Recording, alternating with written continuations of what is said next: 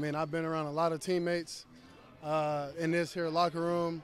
We've been around for you know some time, and I felt like you know uh, we definitely built it from the ground up. And I felt like you know uh, in 2019, where Zac's first year, when there was like nobody in the stands, we was it was probably me, him, Sam, and Tupou.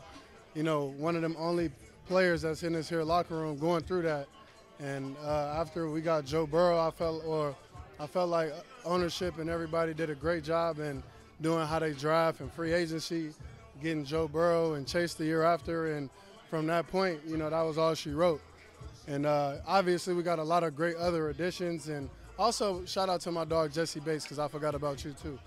But um, like I said, I felt like we built it the right way, and to be a part of something um, so special with these guys, man, it means everything to us. So to be able to